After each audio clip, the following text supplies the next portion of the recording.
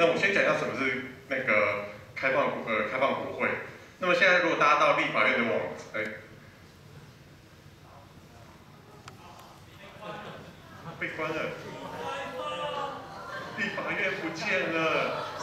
声音消失了。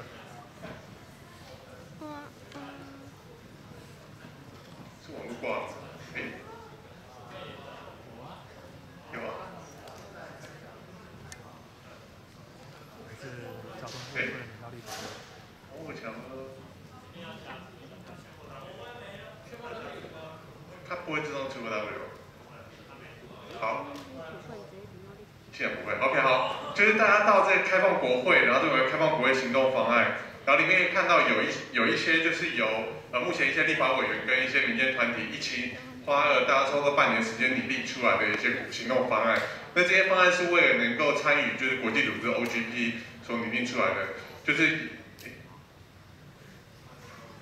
奇怪，这边是怎么一回事？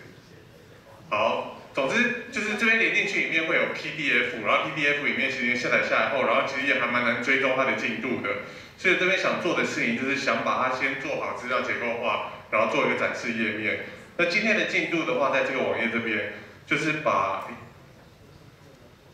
哦，贴错网址，等下换一下。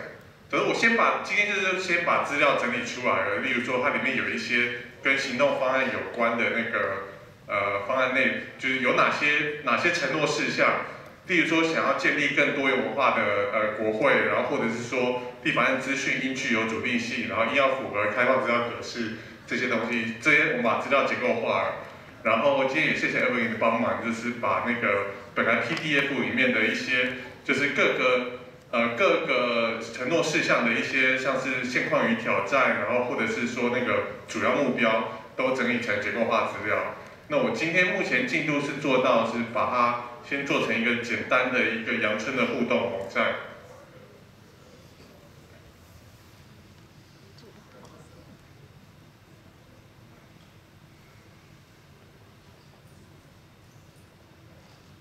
现在就是可以看到说，呃，这次拟定出来的承诺事项是有分五个面向，就是透明化，就是把。开放国会的原则价值讨论出来，公开化怎么让国国会资源更容易取得，国民化就是让人民更容易参与，数位化怎么样让国会更数位化以及教学化，怎么样做到一些国会试读跟教育。然后点进去里面就可以看到，呃，这里面的就是本来本来是放在 PDF 里面的一些，像是主责单位、现况挑战、主要目标，然后以及一些当初讨论出来的 milestone。因为其实开呃 OGP 这件事就是开放国会行呃开放政府行动方案有个重点是呃要有就是呃官跟民一起讨论出明确的里程碑，然后这里程碑是要可行的，然后确保说政府有依照这个里程碑做进行。所以当初也有讨论就是这一里程碑几月几号到几月几号之前，呃那时候相关行政单位应该要做到什么事情，也现在资料都放进来了。那现在其实希望能因为这个开放政府行动方案要继续进行在三年的时间。